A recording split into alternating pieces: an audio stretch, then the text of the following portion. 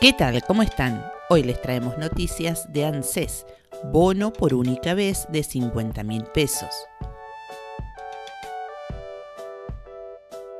Visita en Facebook la página de trámites y cobros ANSES. Seguinos para hacer crecer esta comunidad. Recordá suscribirte a nuestro canal para no perderte ninguna información de ANSES y cómo hacer trámites allí. Si te gusta el mundo de las novelas, resúmenes y biografías, visita nuestro canal hermano de novela. Para estar actualizado con el mundo de la tecnología y un estilo de vida activo, visita nuestro canal Jubilados en Red. Nances indicó que en este caso los beneficiarios serán los trabajadores en blanco. El monto que recibirá será de 51.119 pesos en julio.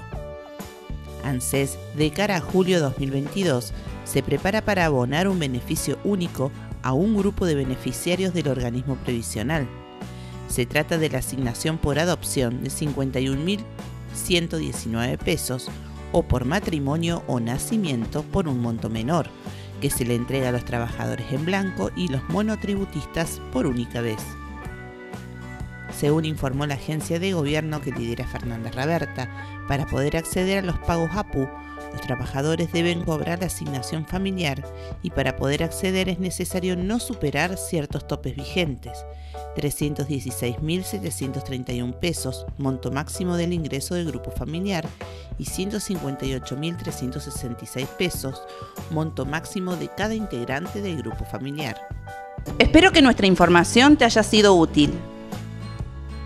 Si es así, suscríbete, recordá que es gratis. Es solo un clic en el botón rojo y activa la campana para no perderte nuestras noticias y tutoriales de ANSES. Saludos y nos vemos en el próximo video.